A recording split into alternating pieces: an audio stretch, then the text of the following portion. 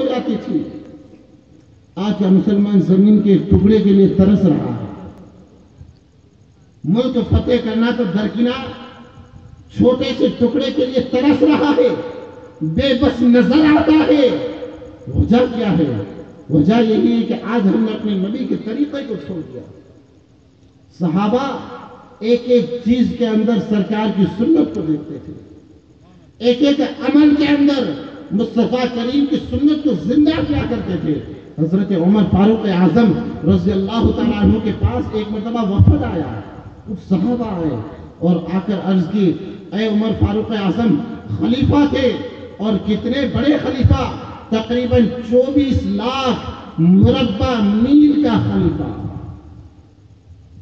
اور کپڑے وہی پرانے وہی سادہ سمپل لباس اور سادی غذا کھانا۔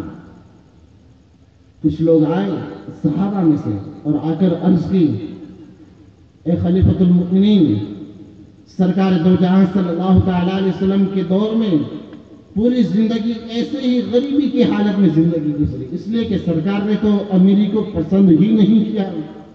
سرکار نے تو امیری کو پسند ہی نہیں کیا ورنہ تو سونے اور چاندی کے خزانے سرکار کے دائیں بائیں چلتے ہیں۔